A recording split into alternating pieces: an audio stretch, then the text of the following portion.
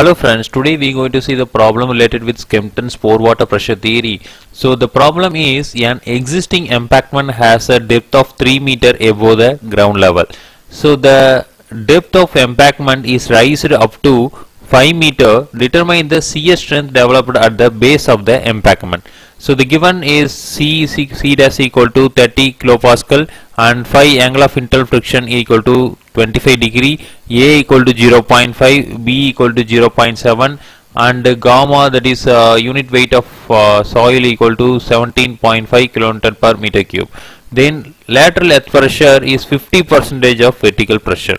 So first we have to draw the diagram. So this is uh, existing embankment at a 3 meter above the ground surface. So 3 meter above the ground surface and it can be raised up to 5 meters. So, so the new embankment is uh, up to 5 meter above the ground surface. So total total is 5 meters. So 5 minus 3 is equal to 2 meters. So change in height is equal to 2 meter. So next one is the vertical pressure. So the vertical pressure or acting over here. So del sigma 1 and uh, the lateral pressure is uh, say del sigma 3 so del sigma 1 equal to change in uh, major principal stress. So del sigma 1 is equal to gamma 1 into del h. So the gamma value 17.5 so that is given. And uh, del h is equal to 2 meter so 17.5 into 2 is equal to 35 kilopascal. So next is uh, the lateral earth pressure is 50 percentage of vertical stress also they are given. So that is uh, del sigma 3 is equal to 50 percentage of del sigma 1 so that is uh, 50 divided by 100 into 35 so the total value is 17.5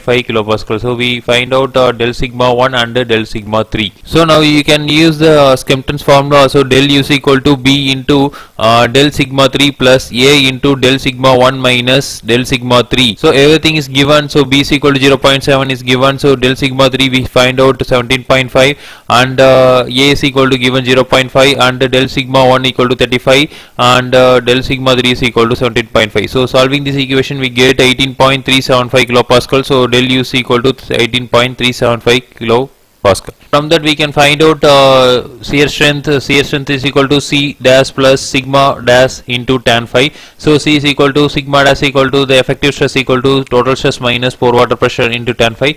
So now uh, we can substitute uh, all the values over here.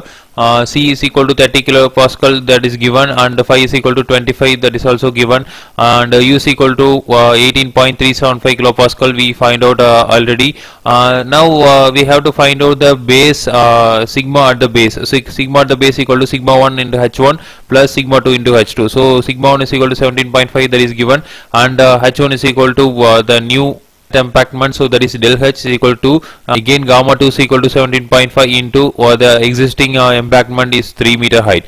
So we get the value of 87.5 kilopascal. So all the values for this formula so uh, we can uh, substitute all the values over here. C equal to 30 and uh, sigma uh, base at is equal to 87.5 minus uh, uh, pore water pressure is equal to 18.375 and uh, tan 25 degree. So we can solve the equation. We get the value of uh, 62.23 kilopascal. So the shear strength is equal to 62.23 kilopascal. So again we will see in next video. Thank you